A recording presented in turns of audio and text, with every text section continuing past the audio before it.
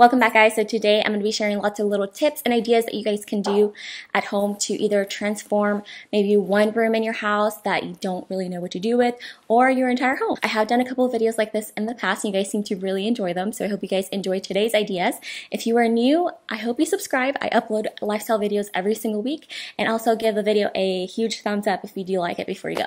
Let's go ahead and jump into it.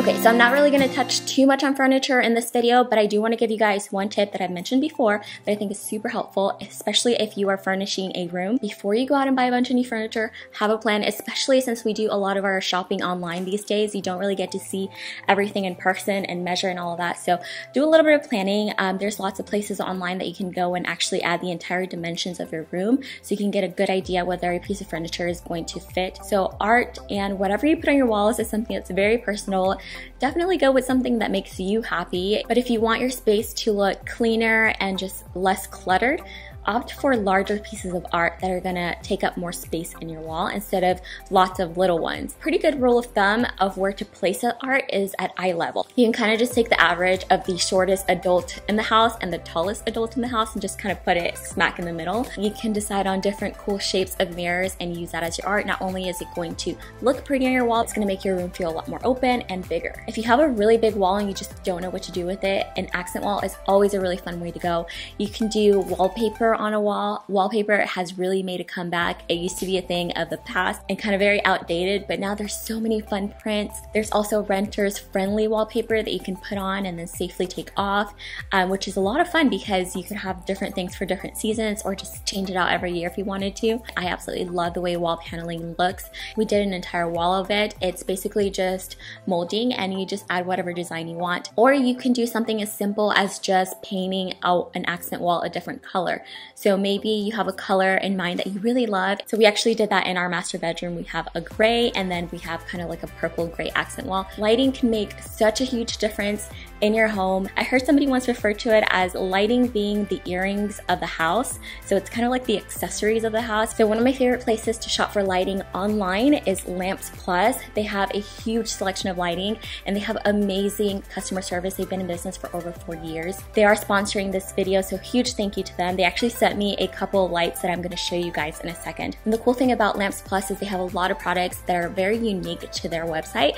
because you can't find it anywhere else. They actually manufacture a lot of their designs based on customer feedback. So anything that you're looking for, they're listening. Lamps Plus also carries other home items, not just lighting.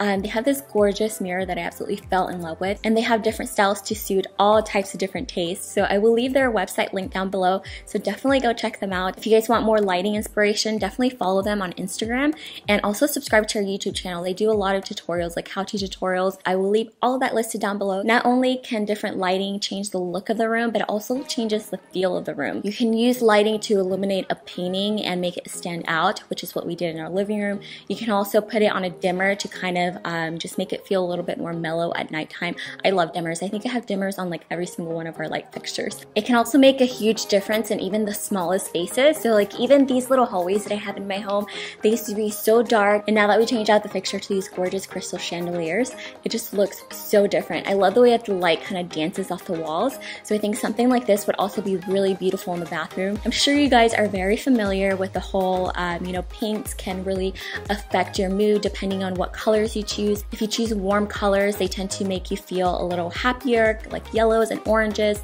They kind of make you feel a little bit more excited and awake. If you choose cool tones like blues and purples, they're a little more relaxed. They make you feel mellow. They're really good for bedrooms and just like places that you want to just chill out. But two other things that could also make a really big impact in your home or your room are the color of your ceiling and the color of your trim. So if you go with a darker color ceiling, it's gonna make your room kind of feel a little bit lower and a little bit smaller, which is totally fine, just kind of depending what look you're going for.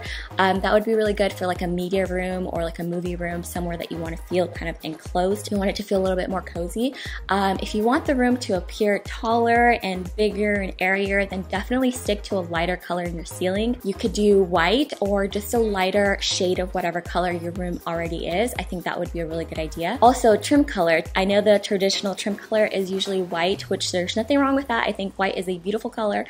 Um, and it really just makes your house pop. But if you want to add a little bit of drama to your room and just something different, try a darker color trim. This is actually what we did in our nursery. It looks really elegant. Everything that you can do to change either the mood of the room or just like the style of the room is by selecting a really good area rug.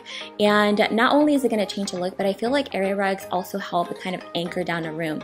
For example, I have a, um, a living space that's very open. You kind of don't really know where one room ends and where the other one um, starts. So an area rug is a really good way to define those two spaces. So you can see in this before shot, everything just kind of looks like it's just floating around, like nothing. You can't really define a sitting area, but then when you put an area rug in, you can definitely see where the living room starts and where the breakfast area starts. But the thing to keep in mind when you are selecting an area rug is to make sure that it is big enough for the area that you want it for. Um, if you select an area that's a little bit too small, especially for the living room, it is going to make your room feel a lot smaller. So just keep that in mind. And if you have like a playroom for kids, an indoor outdoor area rug is also a good idea to put in there because you can spill stuff on it and no big deal. It is super easy to clean. And the last thing that's really going to add some life to your room is to add some greenery. So I originally wanted to add some real plants to my house, but come to find out, some of them can be poisonous to babies, others can be poisonous to dogs.